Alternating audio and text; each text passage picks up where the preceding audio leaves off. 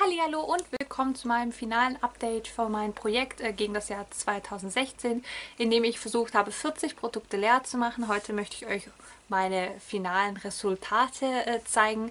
Dieses Video wollte ich ja eigentlich schon vor zwei Wochen hochladen. Da war ich ja krank, das habe ich euch in meinem letzten Video gesagt. Jetzt habe ich aber gesehen, dass ich ähm, das allererste Video von diesem Projekt auch erst Ende Januar aufgeladen, also hochgeladen habe. Deswegen passt es eigentlich jetzt doch ganz gut. Das heißt, ich habe wirklich äh, 365 Tage Zeit gehabt für dieses Projekt und ich will euch jetzt einfach zeigen, die letzten Produkte, die ich hier noch habe, die letztes Mal noch voll waren, was mit denen passiert ist und ähm, ja, dann führe ich euch auch mal durch, wie so meine Resultate waren. Und ich würde sagen, wir fangen einfach mal direkt an. Letztes Mal waren ja noch ein paar Produkte ähm, voll. Da hat sich jetzt einiges getan. Ich muss schon mal dazu sagen, ich habe nicht alle leer bekommen, aber so ein paar. Und zwar ähm, das Manhattan Powder Rouge in der Farbe 34L Secret Lover. Äh, wenn ich es jetzt aufbekomme. Ähm, sieht so aus, ist, ihr seht schon, der Deckel ist total im Arsch. Aber ja, komplett leer. War an sich ein schönes ähm, ein schöner Rouge. Ich fand die Farbe auch schön, aber ich bin jetzt doch froh, dass es endlich leer ist und ich mal wieder ein paar andere Rouges ausprobieren kann. Aber an und für sich kein schlechtes Produkt. Ich habe jetzt auch noch ein anderes äh, Manhattan-Produkt, das ich auch sehr gut finde. Ähm, sind sehr, sehr schöne Blushes. Dann habe ich auch endlich leer bekommen die Luminous Color Mask. Ähm, also wirklich komplett ausgesaugt habe ich die. Ähm, ich sag endlich, eigentlich war es, also es war eine überragende Haarmaske. Ich fand die super, super gut. Und ich habe sie damals in uns Projekt geholt, damit ich mich sozusagen zwinge, einmal die Woche eine Haarmaske zu machen, weil ich so ein bisschen ein fauler Mensch bin in solchen Sachen. Und dafür war die traumhaft. Ganz, ganz tolles Produkt. Ähm, könnte ich mir vorstellen, mir echt nochmal zu kaufen, weil das bis jetzt so eine der besten Masken war für meine Haare, die ich ausprobiert habe. Dann ähm, ist auch leer gegangen dieses Produkt, nämlich von L'Oreal, die Mega Volume Miss Manga. Die habe ich euch in meinem letzten Update gar nicht gezeigt. Ich habe die total vergessen. Die war in meinem Make-up-Täschchen vom ganzen Reisen noch. Ähm, und ich habe sie dann nach dem Video sozusagen wieder rausgeholt und habe es dann so drei, vier Mal noch auftragen können. Dann war die leer super geile Mascara. Also ich habe sie damals ins Projekt geholt, weil ich sie nicht so gern mochte. Im Nachhinein ähm, mag ich sie jetzt doch ganz gern, weil mir aufgefallen hat, das ist so die perfekte Mascara. Wenn man so ein bisschen ein schweres, schwereres Augen-Make-up hat, also wirklich mit Wing und alles, ähm, dann ist die halt Hammer. Die ist einfach wirklich schön und ich kann mir vorstellen, die mir echt nochmal zu kaufen. Dann die anderen Produkte, die ich habe, sind leider nicht leer. Also ich fange gleich mit dem enttäuschtesten Produkt an, nämlich von Kikyo, der Nagellack in der 338. Da habe ich gar ne, keine Fortschritte gemacht, weil ich konnte mich irgendwie seelisch nicht dazu überwinden, ihn zu verwenden.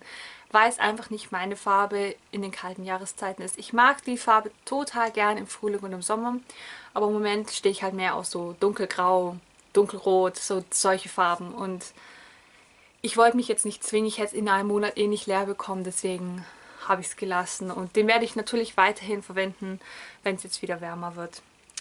Dann äh, von L'Oreal die Hydra Fresh, habe ich euch ja letztes Mal schon gesagt, werde ich nicht leer bekommen. Aber ihr seht, hier war ich letztes Mal, hier bin ich jetzt. Ich habe schon einen großen Erfolg gehabt. Insgesamt wiegt das Teil nur noch 120 Gramm. Das heißt, ich habe, wenn ich auf meinen schlauen, Zettel gucke, 51 Gramm aufgebraucht, was ich sehr gut für dieses Projekt Produkt finde, weil an und für sich ist das Produkt wirklich sehr gut. Mein Problem damit ist nur, es braucht sehr lange, um ins Gesicht einzuziehen, bevor man dann ähm, die Gesichtscreme auftragen kann. Und ich habe morgens einfach nicht die Muße, sowas 10 Minuten einziehen zu lassen, dann die Creme nochmal einziehen zu lassen und dann erst mit meinem Make-up anzufangen. Daher bin ich echt froh, wenn das Teil endlich leer ist. Dann ähm, noch so ein Produkt, so ein Weirdo-Produkt für mich. Das ist der W7 Correct Concealer. Das war ist, oder ist dieser gelbe Concealer. Und wie ihr seht, der ist echt noch proppevoll. Also der ist, ja, voll. Und ich habe den wirklich über das ganze Jahr 2016 jedes Mal, wenn ich mich geschminkt habe, unter meinem Concealer getragen. Wirklich jedes Mal.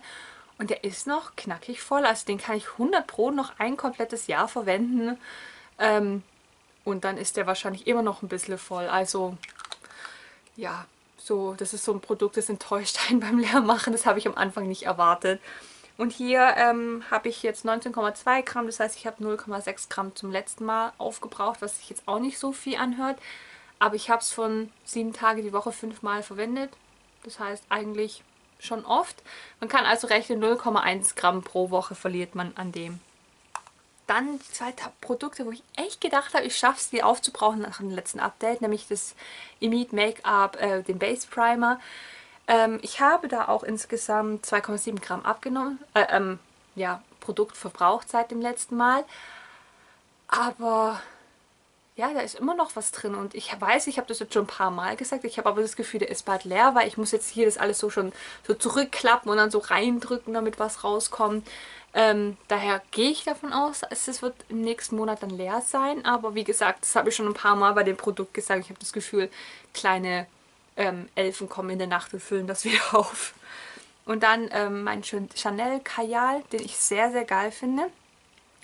Der hat immer noch eine Spitze, wie ihr seht. Ich habe 0,5 ähm, Zentimeter von der Spitze verloren seit dem letzten Mal, aber es sind halt auch 0,4 übrig. Ganz toller Kajal, ist für mich bis jetzt der beste, den ich je ausprobiert habe, weil er mir einfach nicht verläuft und einfach da bleibt, wo er bleiben soll. Ähm, ist also traumhaft. Ich liebe den, ich finde ihn ganz, ganz toll. Ja, und das war es im Prinzip äh, von meinem Projekt. Jetzt dachte ich, führe ich euch noch ganz kurz durch die Zahlen, also wie viel ich aufgebraucht habe, wie viel Gramm ich aufgebraucht habe und sowas. Und ja, dann würde ich sagen, ähm, ich sage euch einfach mal so die Zahlen. Dafür habe ich meinen kleinen schlauen Zettel. Ich bin insgesamt mit 40 Produkten in dieses Projekt gestartet. Eines von diesen Produkten musste ich leider wegwerfen, weil es geschimmelt hat. Das war dieses Gesichtswasser äh, von Naobe keine Ahnung. Ich gucke mal, ob ich euch das hier irgendwie an die Seite verlinken kann. Ähm, ja, das hat damals geschimmelt, dann musste ich es wegwerfen. Und ein Produkt habe ich weggeworfen, das war nur noch halb voll. Das war dieses Haarspray von VO5 aus England. Einfach weil ich zurückgezogen bin nach Deutschland und einfach nicht den Platz hatte, um so eine Pulle Haarspray mitzunehmen. Daher habe ich sie damals eliminiert. Das heißt, insgesamt von 38 Produkten dann, wenn ich die zwei eliminiere, die ich ähm, weggeworfen und die verschimmelt waren, ähm, habe ich fünf Produkte leider nicht leer bekommen. Die habe ich euch gerade gezeigt und das heißt aber trotzdem im Endeffekt habe ich 33 Produkte geleert, was ich sehr, sehr gut fand, äh, weil viele von den Produkten auch dabei waren, die ich nicht so gut fand und mich eigentlich zwingen wollte, die aufzubrauchen. Andere Produkte, wie jetzt zum Beispiel die Haarmaske oder so, habe ich reingemacht, um mich zu zwingen, sie zu verwenden, weil ich faul bin. Also auch sowas wie meine Fußcreme damals. Einfach, dass ich mich animiere, ein bisschen mehr nach meinem Körper zu gucken. Äh, und wenn ich nach Grammzahlen gehe, und ich rechne jetzt die Verpackungen mit, weil es ist schwer, das ohne zu machen, von 3309 Gramm, also so viel haben die 40 Produkte insgesamt gewogen, habe ich insgesamt 2934 aufgebraucht. Da zähle ich jetzt auch die zwei, die ich weggeworfen habe, mit rein. Was bedeutet, ähm, ich bin jetzt noch übrig mit 375 Gramm. Und das finde ich ganz gut, vor allem da ähm, die zwei Produkte fast leer sind. Ähm, ja, doch, ich bin ganz zufrieden mit dem Projekt. Es hat mir gut gefallen, mich ein bisschen auf ein paar Produkte ein bisschen stärker zu konzentrieren. Ähm, ich weiß gar nicht, ob euch das überhaupt gefallen hat. Ich glaube, ich habe euch nie so wirklich gefragt. Ähm, aber ich frage euch jetzt, vor allem aus dem Grund, weil ich mir überlegt habe, ob euch das interessieren würde, wenn ich jetzt nochmal ein Projekt mache. Vielleicht nicht ein Jahresprojekt, weil das war für mich ein bisschen lang. Aber vielleicht wieder sowas wie früher, dieses Project 10 Pan oder so. Aber wenn es euch überhaupt nicht interessiert, dann schreibt mir das bitte unten rein. Oder schreibt es mir auch rein, wenn es euch interessiert, weil ähm, ja, ich muss es nicht abdrehen, wenn ich sage, das bumst euch mal 0, gar nichts, das wollt ihr nicht sehen. Ähm, ja, doch, aber war ein gutes Projekt, hat mir gefallen und ich wünsche euch einen ganz, ganz schönen Sonntag. Ich hoffe, es hat euch gefallen. Ich hoffe, das Finale war aufschlussreich für euch und ja, schönen Sonntag. Tschüss.